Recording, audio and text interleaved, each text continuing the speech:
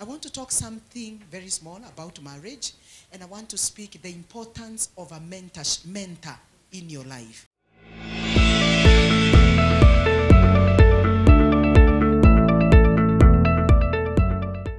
And who is a mentor? A mentor is someone whom you respect and honor in your marriage.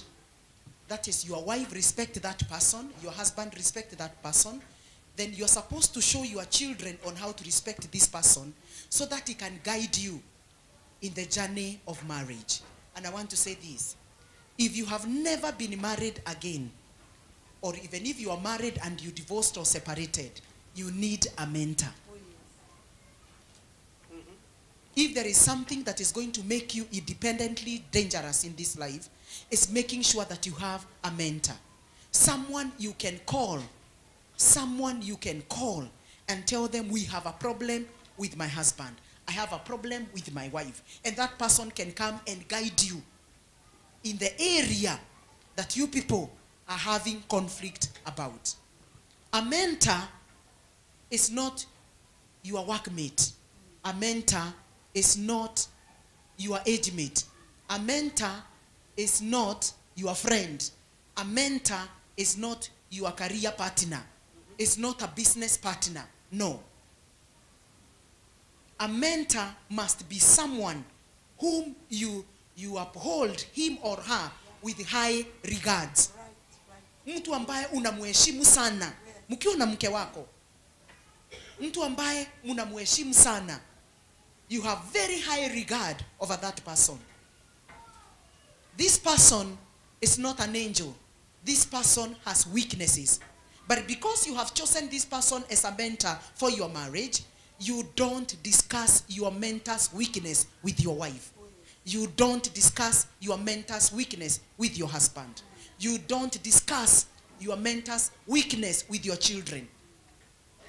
A mentor is someone who will tell you what you don't want to hear.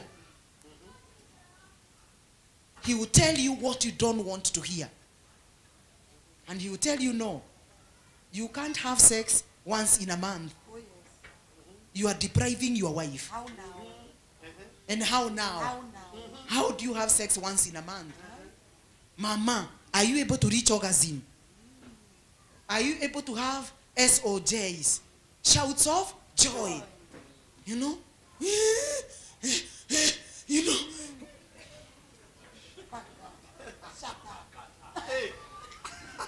Au unakuanga mtu wa ni kama unasukumiwa kichuma.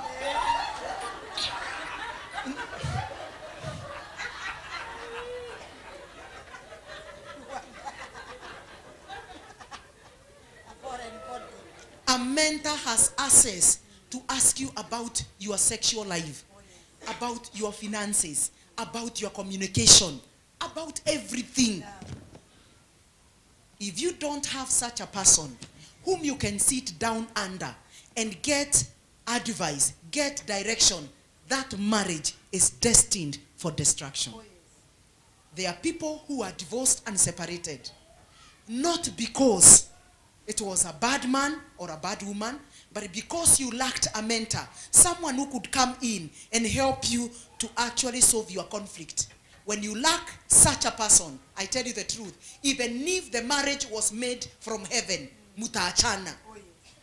Kwa sababu kuna mambo inawasumbua na muna hekima hamuna wisdom hamujui mutahandle mutahandle how to handle each other and by so doing you find yourself stuck in marriage.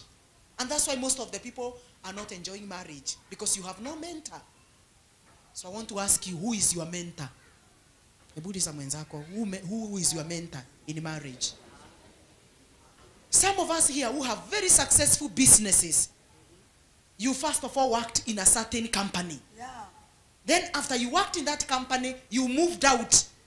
Ukaenda kuanza biashara yako so the place where you are working you are mentored some of you keep going evening classes because you want to improve your career you want to improve your skills wengine tunaenda hata maseminars wengine tunaenda workshops but where do you get knowledge of this important institution called marriage.